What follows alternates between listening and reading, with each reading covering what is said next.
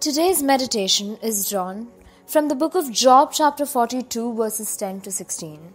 This meditation is based on the theme Status of Women in a Family. When the devil decided to destroy Job and divert him from God in a manner that he would rebuke him, the devil targeted Job's family. His daughters and sons were killed in a storm. By the end of the book, when God blesses Job with everything, we see him rejoicing in the birth of his daughters and sons. Coming from a country where the ratio of female infanticide is on an all time rise, Job is a role model for many parents to acknowledge and revel at the birth of their kids, irrespective of their gender. The chief economic advisor Arvind Subramanian, while addressing the issue of female infanticide, stated that a major reason for this lies in the ingrained preference of a male child due to the norms governing inheritance, the continued practice of paying a dowry, and the tradition of patriarchality. Since time immemorial, women have been ostracized from the society in a way that they had to trade their dignity, identity, and rightful inheritance for misogynistic pleasures. Throughout the Bible, we have witnessed female characters who have been on either end of the spectrum, proving their courage and bravery or submitting themselves to the pressure. But Oprah Winfrey said it better when she remarked, The time is up. Today's status of women in a family can be mainly clubbed under four categories. Firstly, women as daughters.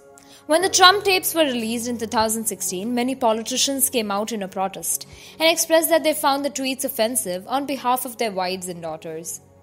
This caught mass attention, and in no time, Twitter took these politicians to task. Out of all, this particular tweet by Mary Elizabeth caught my attention, where she says, If the only way you can be angry at what Trump says is because you have daughters, you might want to consider that you too see women as property. In Job 42:16, Job is seen to be wanting to divide his inheritance equally among his kids. Here generates the idea of equality in every sphere of life. When Sarah is told to clean the dining table and wash the dishes with her mom, while her sibling Josh sits with his dad watching the news, the parents should be blamed to have been watering the sapling of discrimination at such an early age. Secondly, we come across women as wives. In Christian context, despite having wives like Queen Esther and Abigail, we tend to take inspiration from St. Paul's sermon about women and submission in complete isolation. Every time we narrow down Melania Trump's image because of everything her husband does, we're actually victimizing her under the same pretense. Why should any wife be held responsible for her man's action?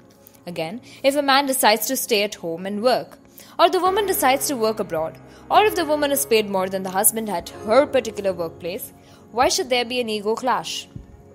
Thirdly, we come across women as mothers. Throughout the Bible, we have seen tender hearted mothers looking after their kids, sometimes losing their firstborn to the crown, while at other times to lust, power, or God's servitude.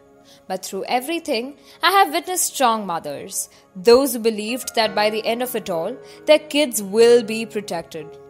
Mothers are shown to be the ideal models for their kids to look up to, who are submissive and understanding and serene and tender hearted and kind.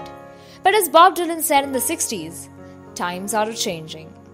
With the rise in working women, we see mothers taking a step back from their kids' life and letting them figure a way out of every mess.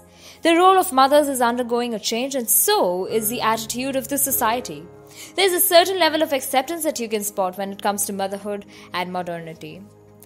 Fourthly, we have women as individuals. The role of women in the society is way more complex than the above. Women as breadwinners, women as leaders, women as lovers, women as anything in the world that they want to be. However, we have narrowed down women's role in the society to their relationship with men in the past, present, and future. Today we see an evolution. While many people critique women's evolution as one where they need to choose between family and career, I have seen a range of ladies balancing the both with vigor and grace. Be it Esther who prioritized her people over herself, or Rahab who took a risk and saved her family, or even Ruth for that matter, who became the great great grandmother of Jesus Christ. The role of women has been changing in the history. More than being somebody's muse for poetry and to feed somebody else's tummy, women are breadwinners, fighters, and as Bible shows us time and again, they are contributors to the salvation plan of the Almighty. Let us pray. O Heavenly Father, we come before you as a family united in your name. Help us to understand each other better and empower those who need to be empowered in this family. Help us to realize each other's worth and become a wall for the weak to lean on. In Father's holy name, we pray. Amen.